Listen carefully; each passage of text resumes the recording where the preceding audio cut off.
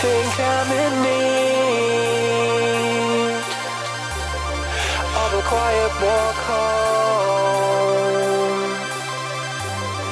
And as we step forward, we would rather be alone. So make some noise while you've got time.